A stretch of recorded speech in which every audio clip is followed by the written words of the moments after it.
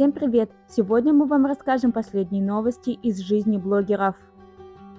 Даша Дошик начала снимать детский контент. Видимо, после того, как от Даши из-за ее странного поведения отвернулась большая часть аудитории, Даша решила сменить деятельность и пробуется на YouTube Kids. Первое видео на канале «Распаковка», в которой Дошик открывает 10 больших киндеров с персонажами мультфильма «Леди Баг и Суперкот». Всем привет, с вами Дошик из как доллар. И сегодня мы с вами будем распаковывать 10 киндер-сюрпризов Макси с Леди Баг и Суперкот.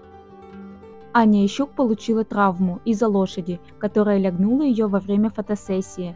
Аня поделилась с подписчиками историей о том, как она с Димасом и детьми устроила фотосессию с лошадьми. Закончилась она достаточно плачевно, так как Аню со всей силы лягнула лошадь. Сейчас с Аней все в порядке, но инцидент был крайне неприятный. К тому же в этот момент Аня держала на руках маленького Тео, который, к счастью, не пострадал.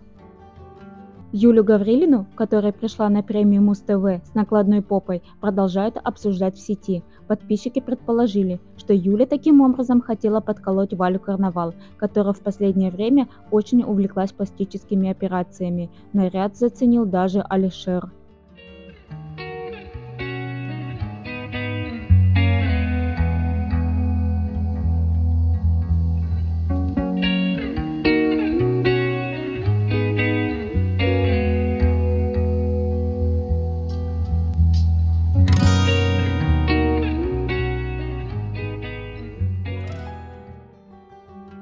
Саша Спилберг внесла немного реальности в эстетику Инстаграма.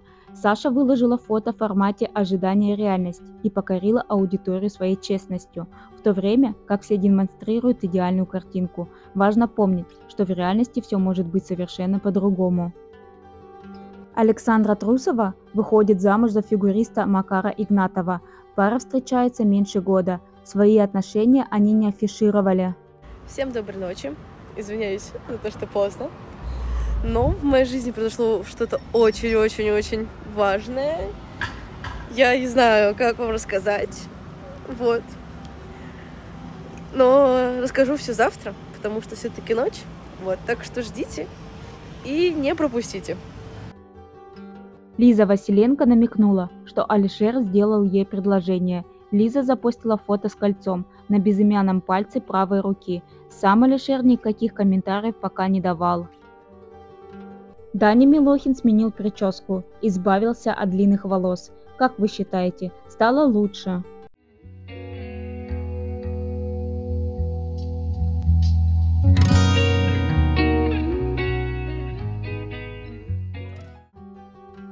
Сети появилась информация, что выступление Вали Карнавал стоит 2 миллиона рублей. Если выступление не в Москве, необходимо оплатить билеты бизнес-класса для нее и менеджера, для остальной команды эконом. Жить Валя должна в пятизвездочном отеле, номер люкс. Еда в гримерке обязательно без фастфуда и без натурального мяса, так как она следит сейчас за своим питанием. Ксения Бородина подарила браслет Cartier своей дочери на 15-летие. Когда твоему ребенку уже 15 лет, совсем взрослая, очень умная и воспитанная девочка. Мне как маме остается только гордиться таким ребенком и позволить ей проживать свои лучшие детские годы, а иначе я просто не могу. Счастья всем детям на свете. Отдельное спасибо всем моим друзьям. Вы у меня лучшие, написала Ксения и поделилась кадрами вечеринки, которую она устроила для дочери. Подписчики почему-то старания Ксении не оценили и посчитали, что она уж слишком балует дочь и специально демонстрирует это в своих социальных сетях. Ты мой сладенький. Да. Значит так, а, нас, во-первых, первое подняли вот отсюда, говорит, встаньте, встаньте, пожалуйста, говорит, Марусе подарок. Какая умничка. И, говорит, 15 лет уже кардье можно. Выдыхай, Марусь. Мне в 15 карандаши дарили. Просто реакция всех. Цветные причем. Оксана Самойлова и Джиган готовы к пятому ребенку. Ранее в марте они заявляли, что оба хотят еще одну девочку. Они еще раз повторили, что Оксана готова забеременеть уже в этом году. К тому же Оксана рассказала, что зарабатывает больше мужа и перестать работать не хочет. Хотела бы ты в этом году забеременеть еще раз? Да. Че сидишь?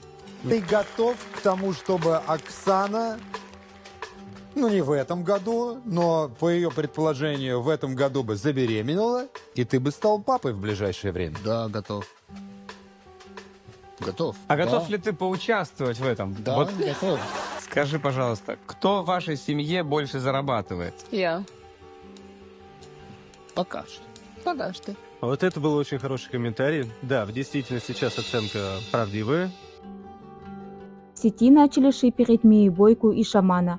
Во время премии Муз-ТВ Шаман подошел к Мии и поцеловал ее в шею. В сети тут же начали строить теории о том, что у них роман. Многих возмутила такая выходка Шамана, так как певец на данный момент женат на 46-летней Елене Мартыновой, но позволяет себе целовать других женщин.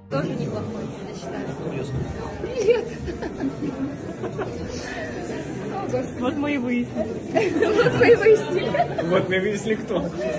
Не шаман Психолог Вероника Степанова назвала Дилару глупой, пантушницей. Степанова проанализировала Дилару и заявила, что она добрая, но обидчивая и глупая. По словам психолога, Дилара ведет себя как 14-летняя девочка, пишет какие-то глупости у себя в соцсетях и постоянно понтуется. паре действительно очень часто идет какое-то сходство. Она находит его по каким-то признакам своего отца, да, может быть, как-то разглядела вот эти знаки релизеры, так называемые, он в ней маму или папу также увидел. Красивая девочка, глупая такая, страшная пантушница, какую-то глупость пишет, как будто ей 14 лет, просто вот, вот прям глупая. Ну, вечные тусовки, рестораны, понимаете, кино, домино.